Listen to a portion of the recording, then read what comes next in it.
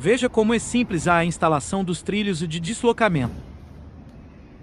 Primeiro vamos fazer o encaixe na suspensão de ar do banco.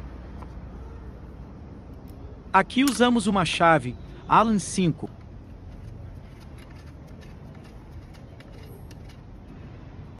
Terminando a parte da frente, deslize os trilhos e parafuse atrás.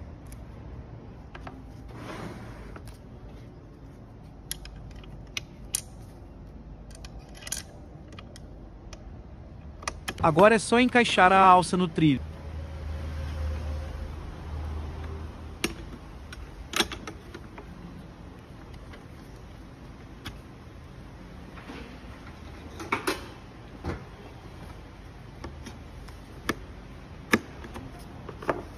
Pronto.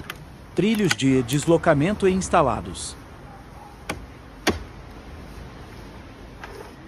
Em caso de dúvidas, temos um time de especialistas pronto para atender.